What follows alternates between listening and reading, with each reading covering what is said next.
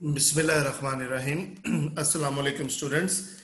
Welcome to you all at Learning Management System of Spiro Group of Colleges. बेटे, आज हम biology part one का chapter number seven start करने जा रहे हैं और ये चैप्टर जो है बेटे, ये किंगडम प्रोटोक्टिस्टा के बारे में है तो चलें, देखते हैं इंट्रोडक्शन सबसे पहले लेते हैं प्रोटोक्टिस्टा जो है या प्रोटिस्टा जो है, इनमें कौन कौन से ऑर्गेनिज्म शामिल है तो इसमें इक्वेटिक यूकैरियोटिक यूनिसेलुलर ऑर्गेनिज्म शामिल है। बेसिकली बेटा, अगर आपने प्रोटिस्टा को याद रखना है तो एक बात याद रखें कि प्रोटिस्टा के अंदर या तो यूनिसेलुलर है या सिंपल मल्टीसेलुलर ऑर्गेनिज्म शामिल है। कंप्लेक्स मल्टीसेलुलर इसमें शामिल नहीं होते। अच्छा अब पॉइंट ये है कि यूनिसेलुलर कौन से वाले? क्योंकि यूनिसेलुलर दो तरह के हैं। एक प्रो प्रोकैरियोट्स है और एक यू यूकैरियोट्स है। तो प्रोटिस्टा में यूनिसेलुलर लेकिन यूक्रियोट वाले, यानी कि यूनिसेलुलर में कॉम्प्लेक्स यूकरियोट वाले और मल्टी में सिंपल जो सिंपल मल्टी है, वो बेटा प्रोटिस्टा के अंदर शामिल होते हैं। वैरायटी ऑफ़ बॉडी फॉर्म है जी इसकी। रिप्रोडक्शन मेथड्स बहुत ज़्यादा वैरायटीफुल रिप्रोडक्शन मेथड्स है। मोड ऑफ़ न्यूट्रिशन बहुत ज़्यादा वैरायटीफुल है। लाइफ स्टाइल ये ऐसा किंगडम है बेटे। अगर आप इसके हर ऑर्गेनिज्म को गूगल पर सर्च करें तो सुबहान अल्लाह सुबहान अल्लाह सुबहान अल्लाह इतने खूबसूरत ऑर्गेनिज्म है अल्लाह ताला ने बनाए हैं इस दुनिया के अंदर कि आप देखकर हैरान परेशान हो जाते हैं और सुबहान अल्लाह के बगैर आप नहीं रह पाते। बेसिकली जो है जी ये आ, ऐसे ऑर्गेनिजम्स हैं ठीक है कि जो कि तमाम किस्म के जो किंगडम्स हैं हमारे पास उनसे ड्राइव किए गए हैं। यानी कि इसमें बहुत सारे ऐसे जो एनिमल्स की तरह के हैं तरह के हैं मैं बात कर रहा हूँ। तो इसलिए उनको एनिमल लाइक प्रोटिस्ट या प्रोटोजोआ कहते हैं।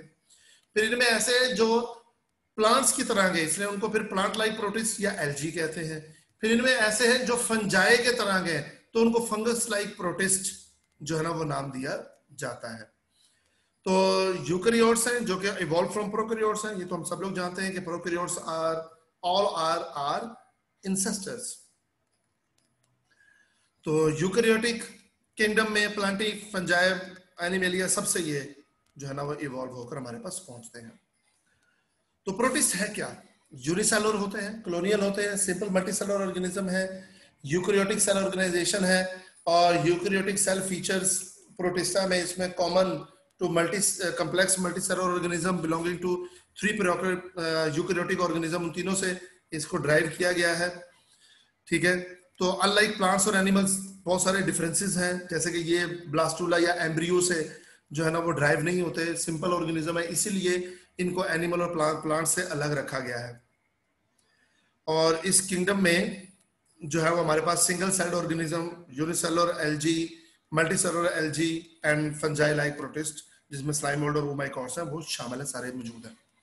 हिस्टोरिकल पर्सपेक्टिव में देखें तो 1861 के अंदर जॉन हॉग साइंटिस्ट हमारे पास उन्होंने सबसे पहले प्रोटोक्टिस्टा किंगडम जो है वो माइक्रो ऑर्गेनिज्म के लिए डिड्यूस की प्रपोज की। देन 1866 में अन्ना सैकल ने कहा कि जी प्रोटिस्टा के अंदर हम बैक्टीरिया जैसे ऑर्गेनिज्म या other micro organism such euglena इनको रखना चाहिए, लेकिन वो उसमें फिट नहीं होते थे। और दूसरे, वो तमाम ऑर्गेनिज्म जो प्लांट्स और एनिमल में फिट नहीं होते, उन सबको पकड़े और उनको, उसको प्रोटिस्टा के अंदर रखा जाए।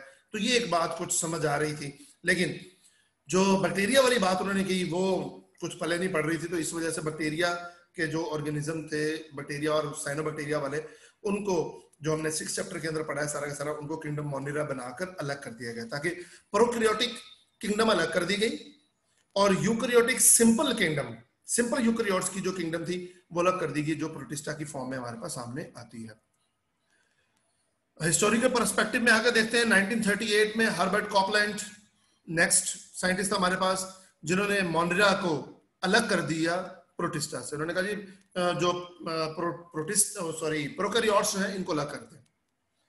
फिर 1969 में रॉबर्ट विटिकर ने five kingdom system of classification दिया। उसमें भी उन्होंने प्रोटिस्ट को अलग किया मोनरा को अलग किया मॉर्गलियो श्वार्ट्स ने जब इसकी मॉडिफिकेशन की 1982 के अंदर तो तब उन्होंने क्या किया? उन्होंने कहा जी कि जो सिंपल मल्टीसेलुलर है यूकैरियोट्स या जो यूनिसेलुलर यूकैरियोट्स हैं, वो सारे के सारे किसमें आएँगे?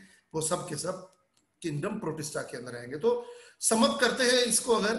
तो बेटा, प्रोटिस्टा जो है, ये वो तमाम ऑर्गेनिज्म है जो यूनिसेलर भी हो सकते हैं, सिंपल मल्टीसेलर भी हो सकते हैं, लेकिन ये सारे के सारे यूकरियोट्स होंगे।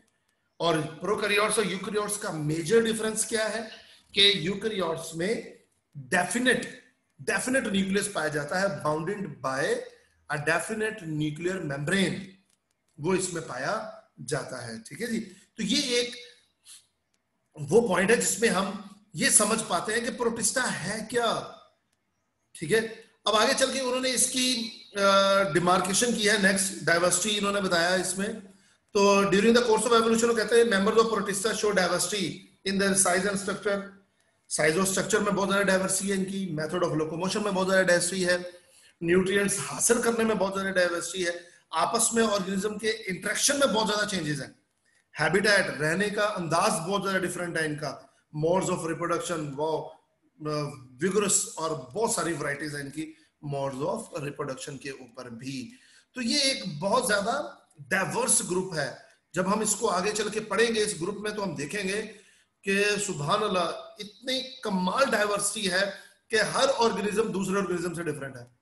ठीक है जी? तो इसलिए बायोलॉजिस्ट के लिए बड़ा मुश्किल था कि एक जो है ना, वो एक ही जगह पर इन सबको डिस्कस करना। तो क्योंकि ये प्रोटीस जो है प्रोबेबली ये कॉमन इंसेसर से भी नहीं है। डिफरेंट इंसेसर है इन सबके। तो मार्गनी तो शवार्स ने जब इनकी प्रोटिस की क्लासिफिकेशन की तो उन्होंने 27 फाइला में इनको कॉमोडेट किया।